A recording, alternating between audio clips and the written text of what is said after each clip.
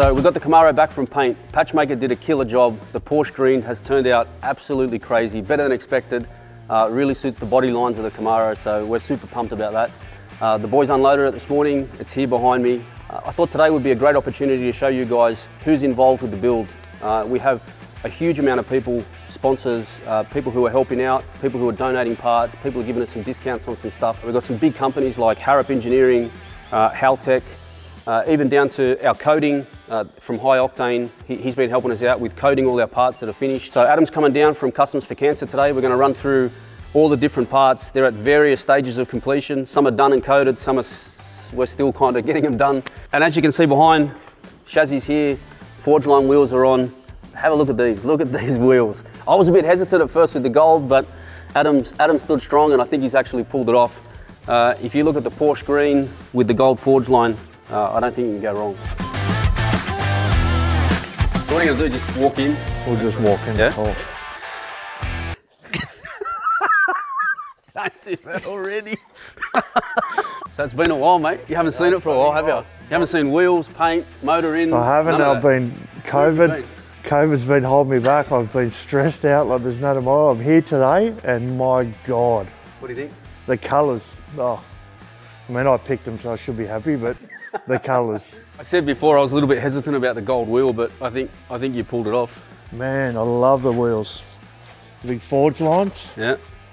I love this outer finish on there. It's smoked. It's beautiful. Body's ready to go on, man. So we put fuel line back in. Uh, power steer lines are in. Engines coupled to transmission. Clutches in. Yeah, we'll probably put it up on the hoist this afternoon and couple it up. Final. It's not coming apart again. The only thing I am disappointed about, it's not my car. Yeah, I know.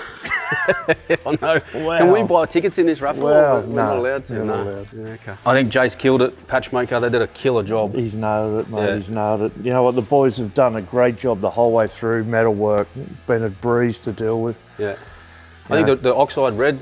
Yeah, it pretty looks cool factory. as well. Yeah. Yeah. That was um, Melamody's idea. Was it? Run a run a oxide in there and keep it like a standard theme. Yeah. It's a standard colour from factory. I think underneath we'll be able to see later, but the green, the Raptor I've that they never use underneath, that, yeah, it looks Let's awesome. have a look. Let's Yeah. have a look. Looks good, eh? It's a long way from when we picked it up, huh? Oh yeah, I know.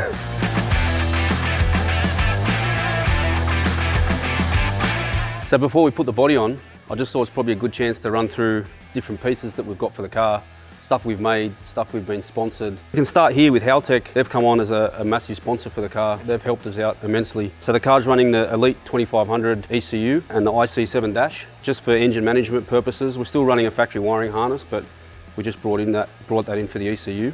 This looks like something that Haltech actually make, but uh, the boys here at Moyns Motorcar built this. Have a look at this little unit. Do you like that, Barry? I like that. That is special. We even texture coated it for you, mate. I So it like the looks- wrinkle finish, as you'll see on the vehicle. What have we got here? This is a Uh, this is the pedal box. Yeah, well, obviously the left to right. too. No, that's not factory, that one. no. Because of the left to right, we spoke about this a while back. There's a few hours in that one, Adam. Pity you can't just mass produce these because you probably go all Well, right. not too many people want left to rights, mate. They do, they do. Uh, we're waiting on a couple of pedal pads from Clayton Machine Works. Uh, they came in last week, so we just got to attach those to there. also, uh, Scotty at Oxytech has supplied all the powders and everything that we put on the vehicle. Um, and high octane performance coatings have applied all the products for us, which has been great. Yeah, he's done a killer job, man. So what have we got here? The factory looking radiator. Yeah, well, we made this in-house, uh, used the PWR core, but just runs two 14-inch fans. So all the components are here for the exhaust system. Uh, headers supplied by Roadster Shop. They're a nice piece of work, aren't they? Yeah, they're awesome, man. Stainless, inch and 7/8, perfect for that. And fuel tank again from the Roadster Shop. This is a must-have. This is built specifically to suit their chassis. Tapered sides on the fuel tank, obviously to allow exhaust clearance. In-tank pump, again coated by high octane. Just straps into the original position. Probably last, uh, but not least, definitely. I wanted to have the brakes here to show you guys today, uh, but need to have a special mention to Harrop Engineering. Uh, they've really got behind the build. They've helped out with uh, the brakes for the car. Uh, they've helped out through their partnership with Forgeline. Uh, we gave them hardly any notice whatsoever, and they got the wheels here. They've also given us the True Track for the diff. That's got a Harrop True Track in it.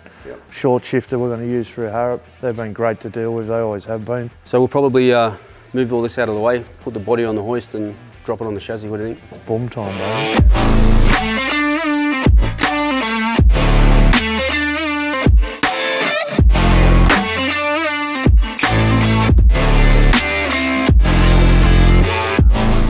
Yeah, so this is it. Uh, body and chassis meeting for the first time. Uh, won't be long now before we can have a look at this Roadster Shop chassis from underneath.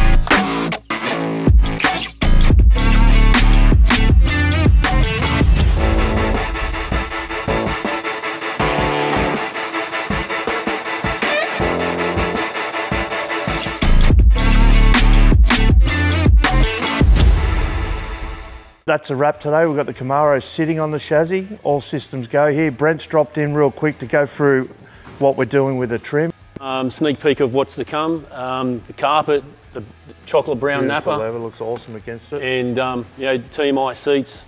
Stay tuned. The next tuned video and, we um, are going to show Brent in action and this thing's going to really come to life.